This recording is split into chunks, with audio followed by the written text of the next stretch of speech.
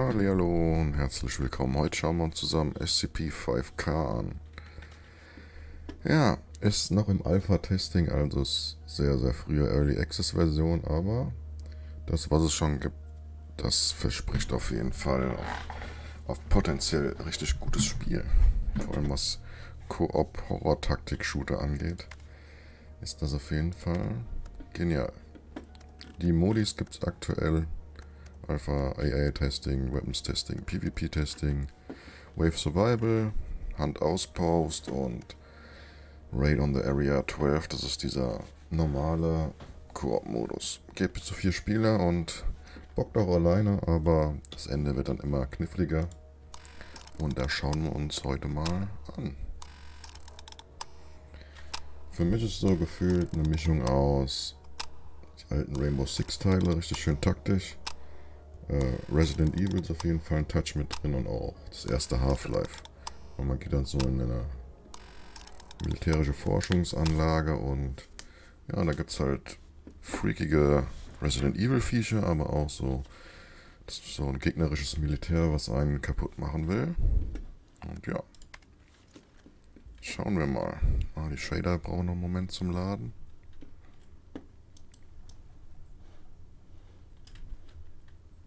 So.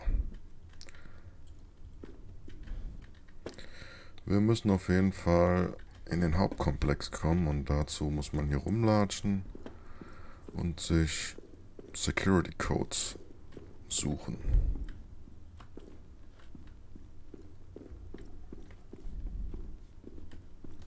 Ob die Codes immer anders sind, das weiß ich gar nicht.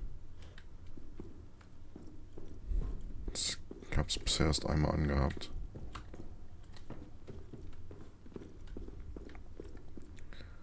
So, 0451. Ich glaube, das war auch beim letzten Mal der Code. Ähm, ich glaube, wenn das Spiel weiter fortgeschritten ist, dann wollen die das, denke ich, random generieren lassen. Weil es wäre blöd, wenn der Code immer dasselbe wäre, dann bräuchte man sich die nur einmal aufschreiben. So.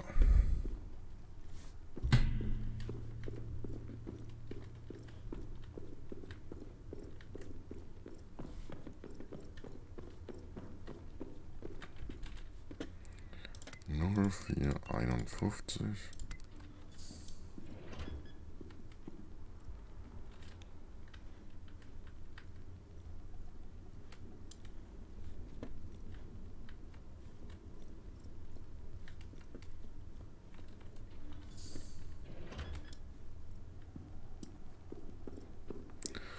Ja, und dann schalten wir den Strom überall an. Dann gehen Tore auf. Und irgendwann kommen dann auch die ersten Gegner.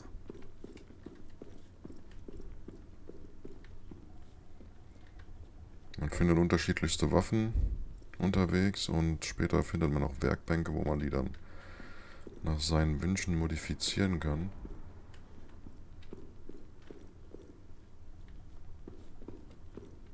Da waren wir drin.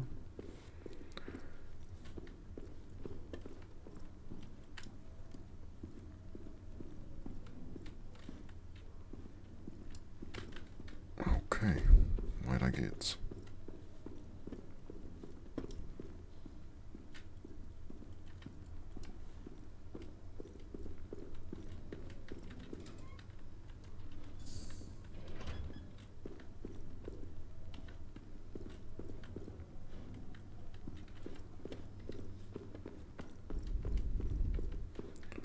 Wenn man sich ab und zu mal ein bisschen genauer umschaut, da gibt es dann immer so ein bisschen Lore-Text und man findet ein paar Hinweise, was hier abging, aber ist alles noch recht einfach gehalten.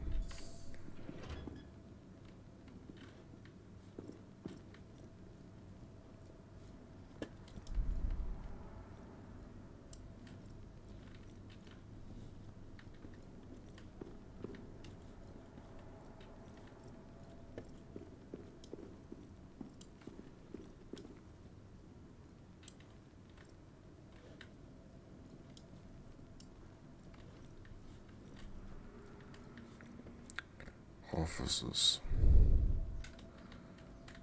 Da fehlt nochmal Saft.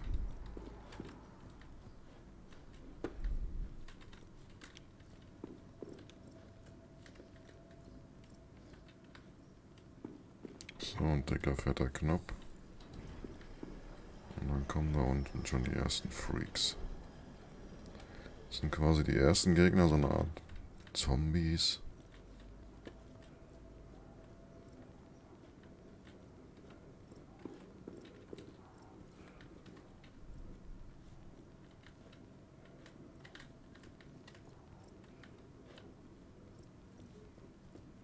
Und wenn die beweglich sind, dann können die natürlich auch überall hin, wo schon die Türen offen sind. Und für mich erweckt es so den Eindruck, dass die einen suchen und dann jagen.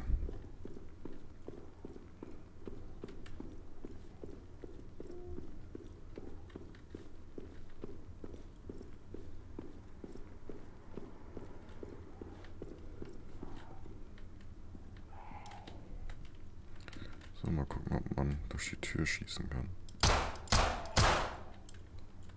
Das funktioniert wohl.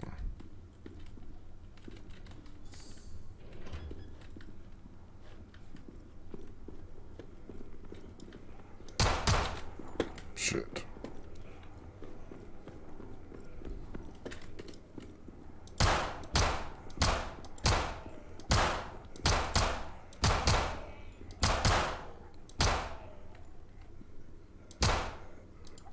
Oh Mist, nachladen.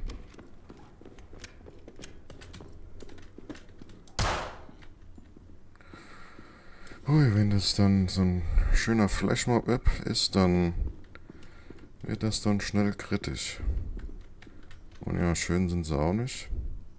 Aber das macht diesen Horror-Flair denn hier aus. Es gibt auch verschiedenste, manche mit Klamotten von Militärs, manche mit Klamotten von Wissenschaftlern. Oder irgendwelchen anderen Mitarbeitern. So, und hier gibt es nochmal Heals Packs, die man finden kann. Und jetzt sind wir wieder gesund. Man kann natürlich auch gucken, wie viel man noch in einem Magazin drin hat an Schuss. Und es gibt ja keine Anzahl, wie viel Schuss man jetzt noch übrig hat. Sondern das ist alles taktisch und realistisch gemacht. Was es richtig, richtig gut macht.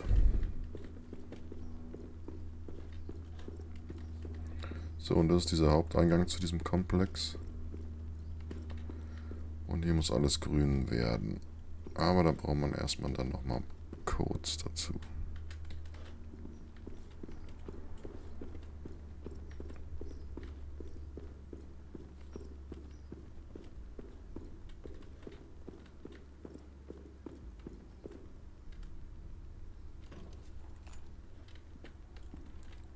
So, unsere erste Waffe.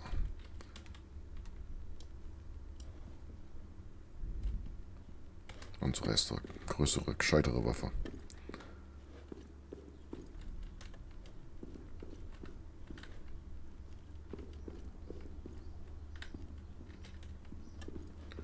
Ja, wie ging das nochmal auf?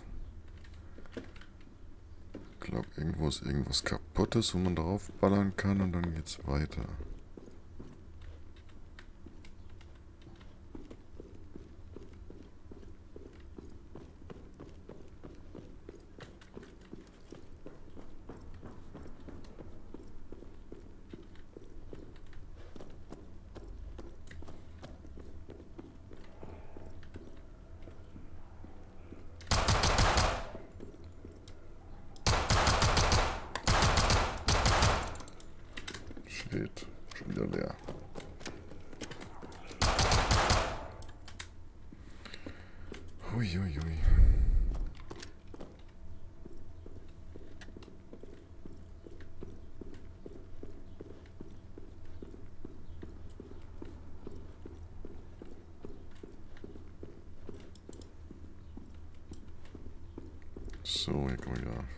Licht anmachen.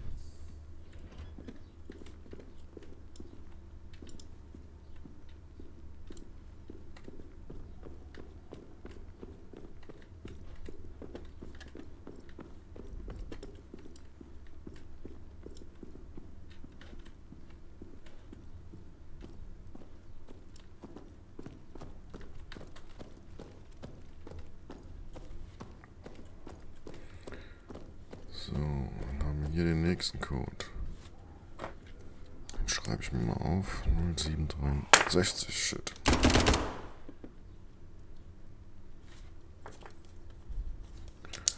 Ja, so wird man immer wieder überrascht. Ah, 63.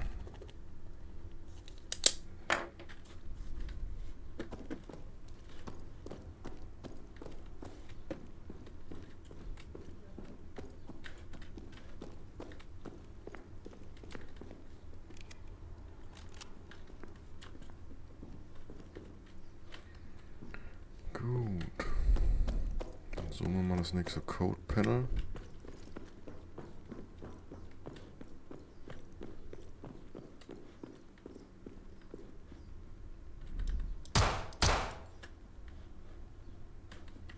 Es gibt da manchmal so defekte Stromverteiler, wo man drauf schießen kann und dann geht's weiter. Ah, hier ist noch was.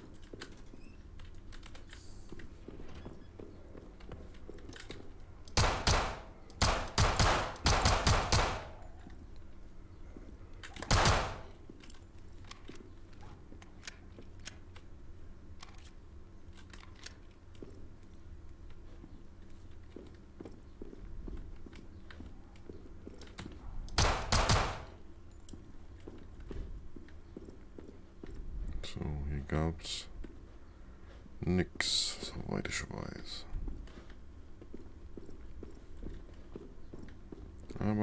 Was.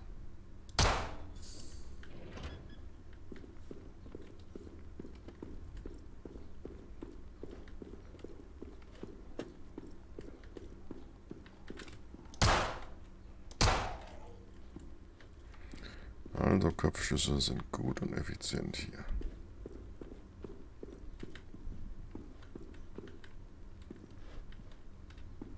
Sonst gibt es hier nichts, dann weiter.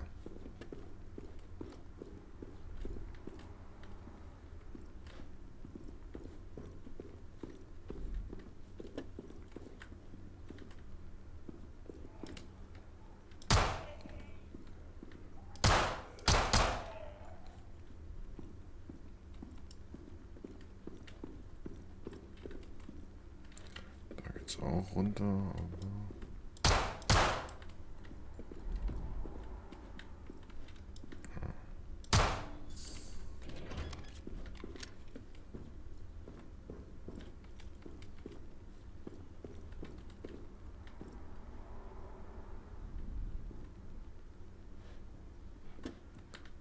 Ah ja, ich glaube, da kommt gleich eine ganze Batterie.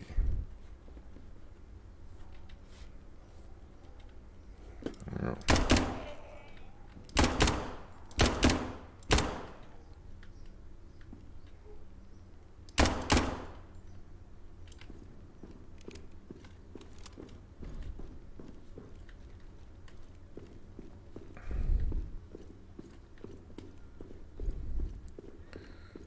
So.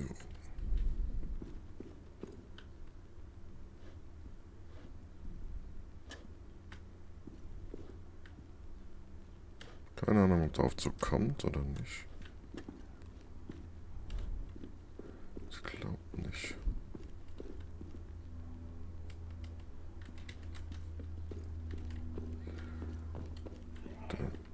Da müssen wir wohl laufen.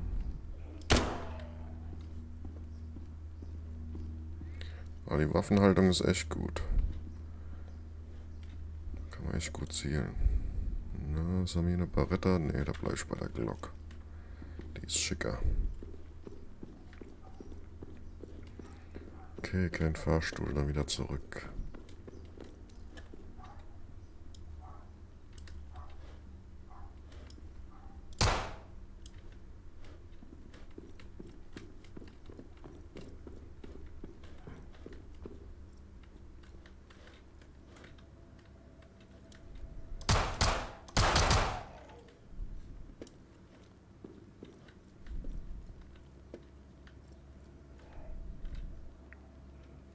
Ah, Hier ging es dann in diese Küche.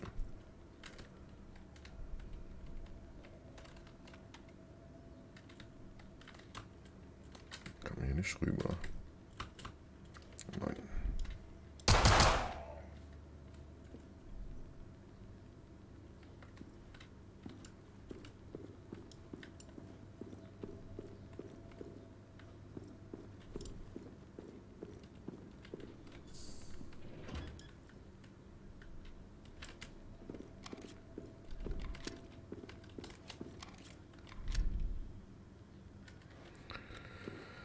Ja, hier ist wohl auch nix. Und First Aid Kit. Ah, das ist gut.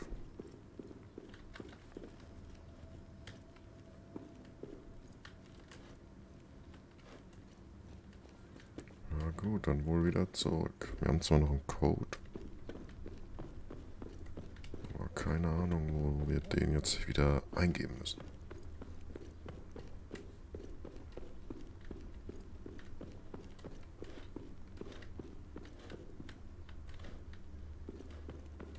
Ah, hier ist grün, dann fehlt nur noch die andere Seite.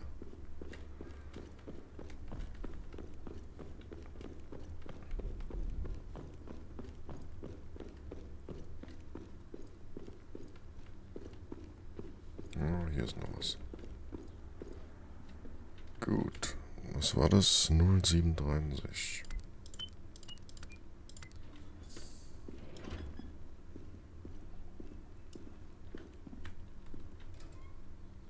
Ah, da haben wir dasselbe wieder. Ob man die Muni auffüllt. Ja, wenn man das andere Gewehr nimmt, hat man wieder volle Muni. Gut.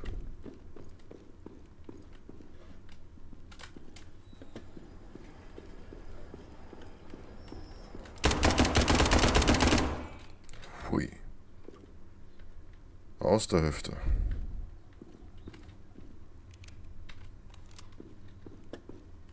Nicht schlecht. Ich frage mich nur, wo die herkam. Denn die Tür müsste noch zu sein. Ah ne, ist doch jetzt auf.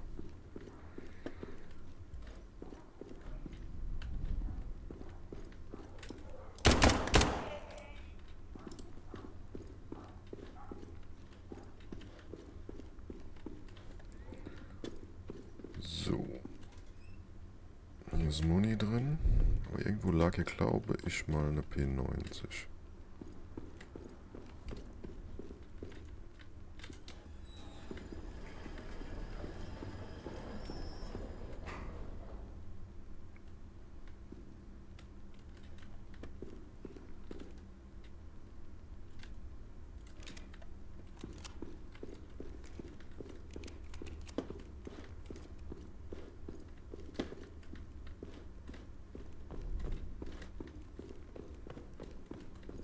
Hier ist der Aufzug.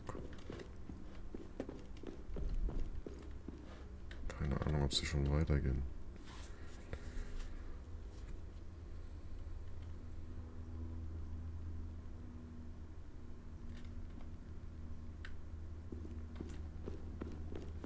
Modifizieren erstmal die Waffe, bis wir die andere finden.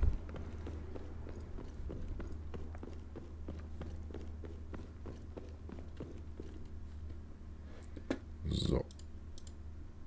Auf jeden Fall ein ACOG. Jetzt drei Suppressor-Arten. Ich nehme mal den.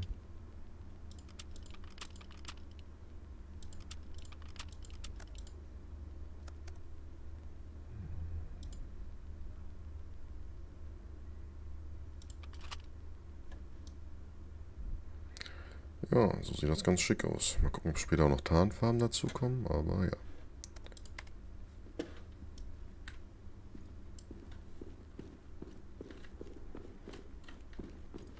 Weil hier unten geht es doch eh noch nicht weiter.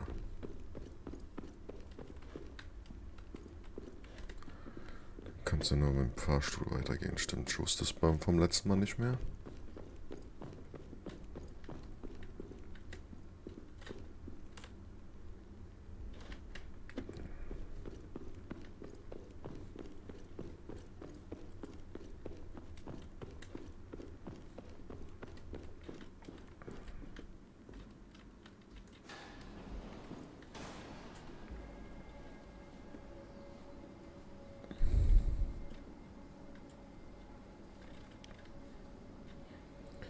Ja, das Spiel ist relativ dunkel. Gut, dass man immer eine Taschenlampe am Start hat.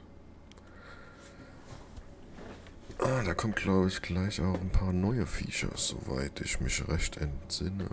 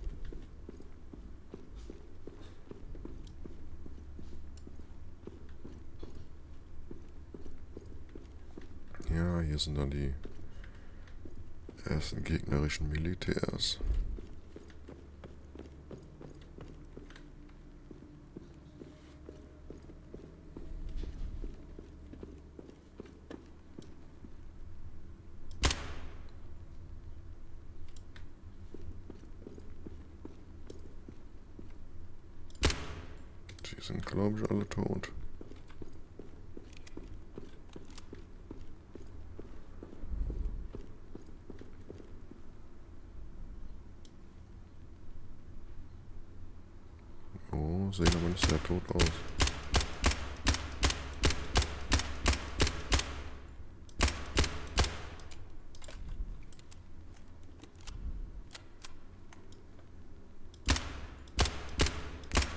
Weiß nicht, warum die mich nicht angreifen. Die anderen haben sie auch angegriffen.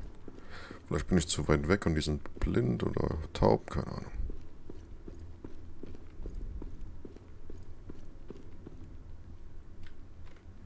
Sind zumindest auch nicht die hübschesten.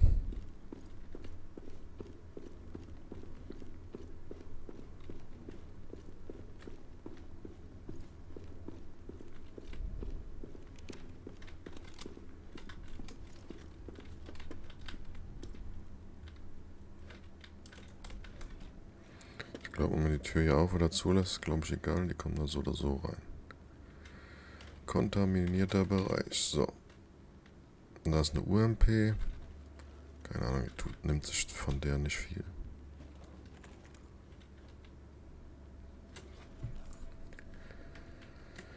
Gut, dann. Achso, den Code haben wir nicht. Wir können den alten probieren. 0763.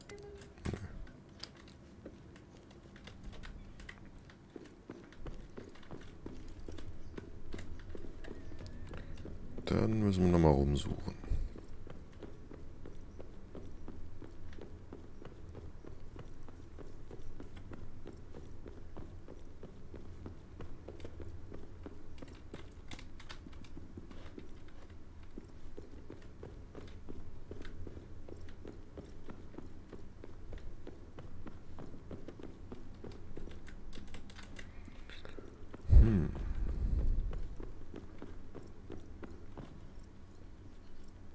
Ah, hier war die P90.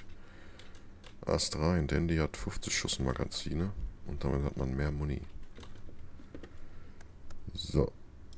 ACOG. Kleiner dicker Suppressor. Grip braucht's nicht, hat's ja schon alles integriert. Und Laser. Hübsches Ding.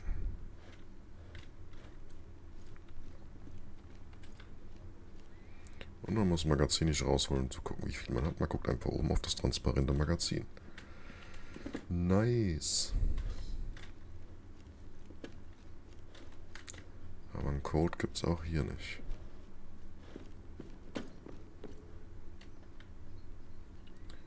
Oh, das Bild ist gefroren. Ah, jetzt ist es wieder da. Warum auch immer, keine Ahnung. Sonst läuft es ja 1A.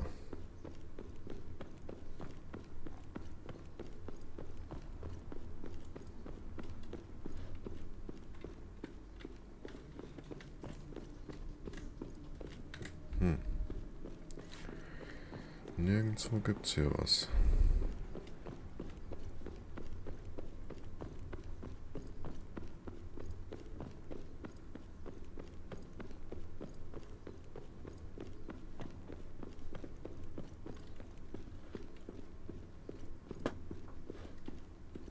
Oder war der Code hier in dem Raum? Ich habe nicht gesehen.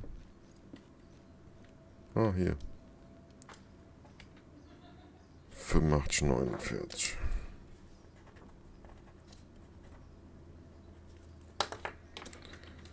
Na dann.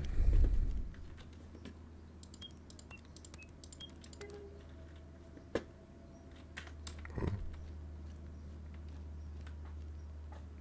Ja, 94. Andersrum.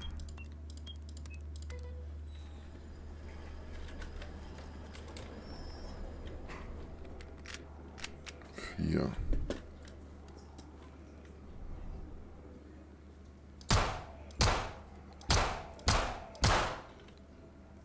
Schön in Reihe und Glied. Oh nein, da kommt noch mehr.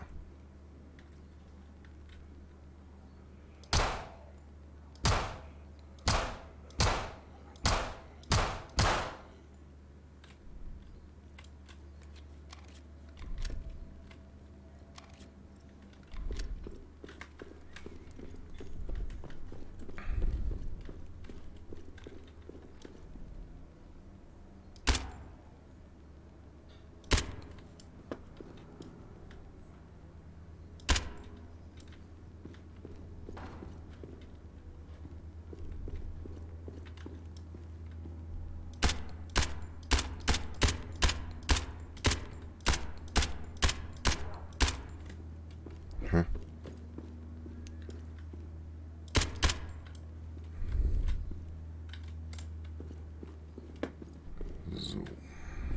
Hier gibt's nix.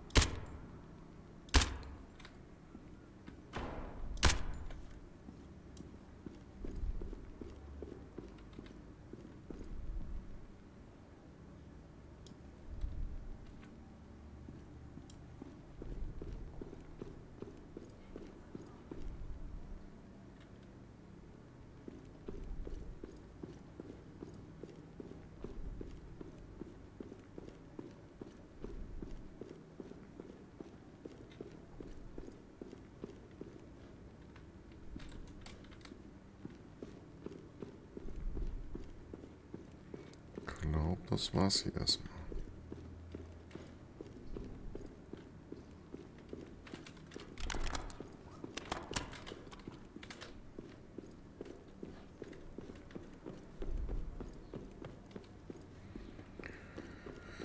Gut, Strom an, mehr Gegner.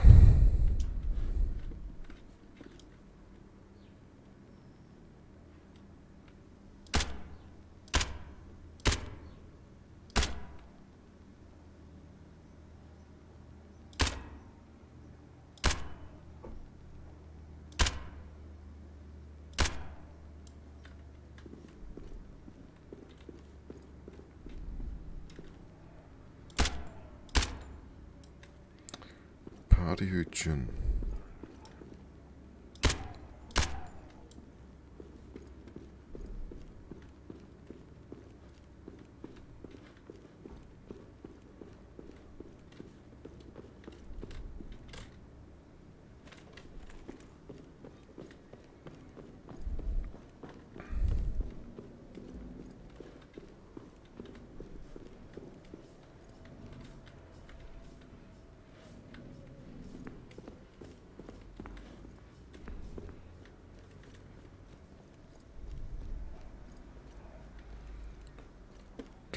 so ein Scanner für Metallzeugs. Aber da kommt man nicht drum rum.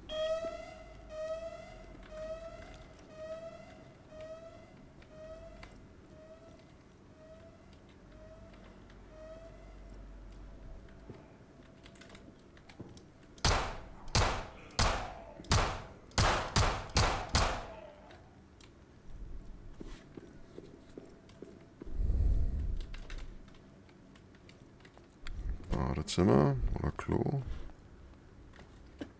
Hier check ich auch nochmal alles.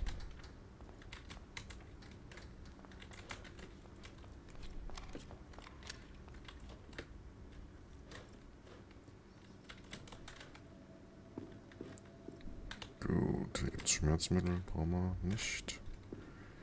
Eine MP5 ist auch cool, aber eine P90 hat halt den Vorteil. Ah, hier können wir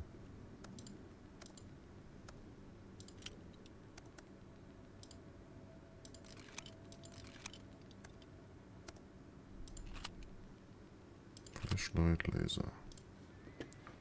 Gut. Das hatte ich noch nicht, die Pistole. Aber ein blauer Laser.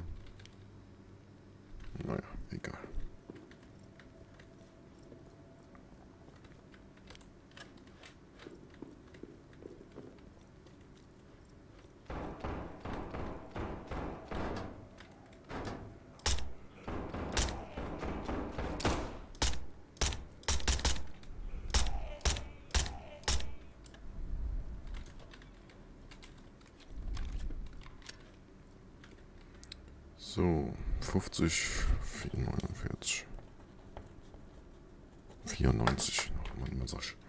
49, dabei ist 94, egal.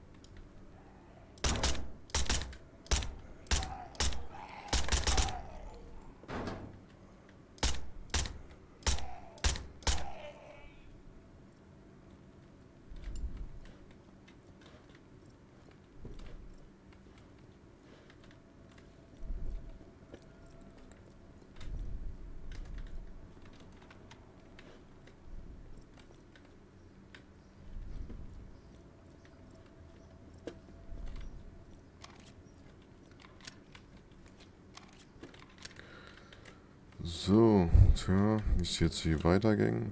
Da bin ich mir fragen, wir haben jetzt einen Code. Wo wir den eingeben, das habe ich vergessen. Auf jeden Fall gab es nur eine Gegnerart, die ich bisher noch entdeckt habe. Und zwar ein, wenn man den Gegner nicht anguckt, nähert er sich. Er ist unbesiegbar und wenn man ihn ständig anguckt und sich rückwärts bewegt, dann bleibt er an Ort und Stelle. Der war recht fies.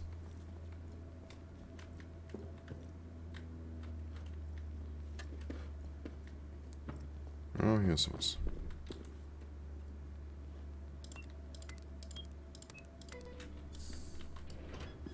Und wieder ein Alarm.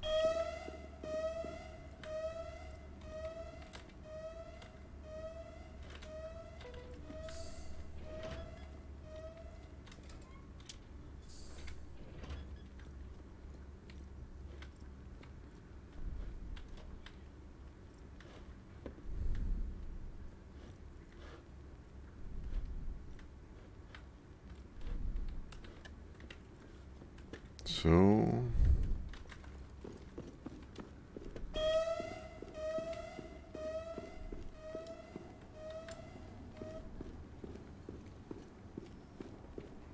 Das ist dieses Kackvieh. Unkaputtbar. Ah, und super ätzend. Jetzt ist es da. Und jetzt ist schon nah. Also immer angucken, dieses Kackvieh. Und man kann auch Türen rückwärts öffnen, wenn man weiß, dass man an der Tür ist. Ja, muss es hin.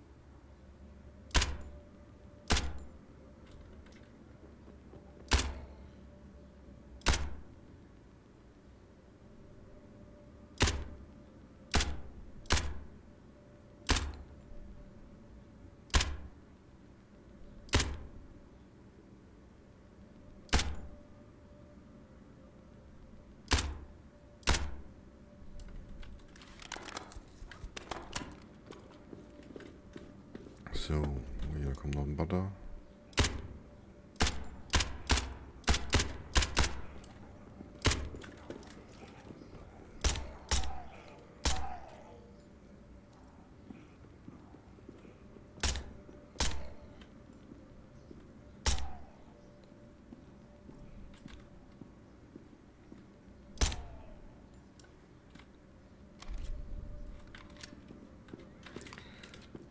Gut, dann haben wir das hier auch. Und es geht noch ordentlich weiter. Also kann man bestimmt so ein, zwei Stunden locker mit verbringen, die Mission zu zocken. Glaube ich. Ich habe mal einen gesehen, der die fast komplett gemacht hat. Und das geht eine ganze Weile. So, Refuel. Ich den Schrank auf.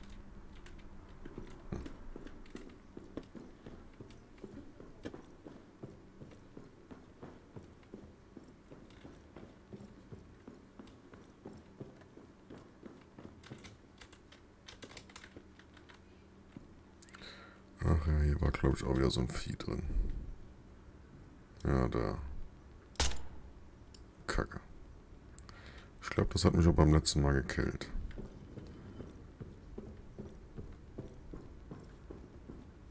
Weil ich nicht wusste, was ich hier tun soll. Ich soll irgendwas mit refuelen.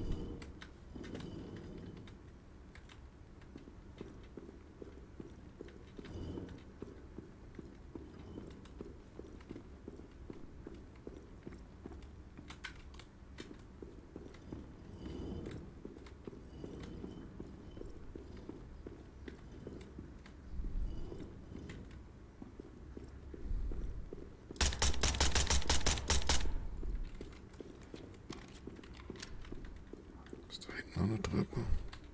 Keine Ahnung. Ist halt blöd, wenn man die ganze Zeit rückwärts gehen muss.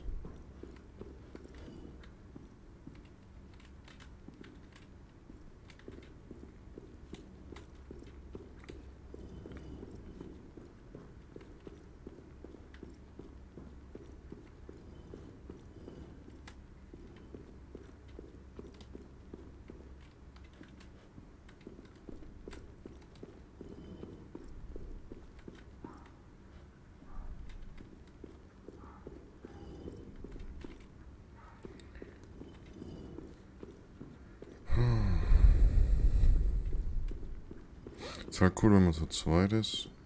Ich glaube, dann reicht es, wenn einer den anguckt.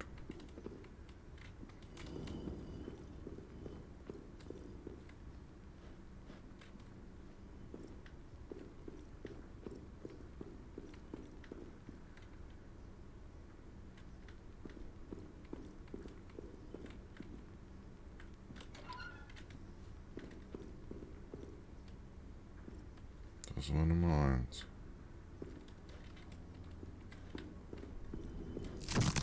Ah.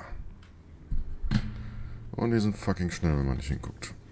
Aber ja, kam ich schon mal einen Schritt weiter als beim letzten Mal. Da unten geht es wahrscheinlich weiter. Gut, das war's auf jeden Fall von mir. Danke fürs Zusehen und bis bald.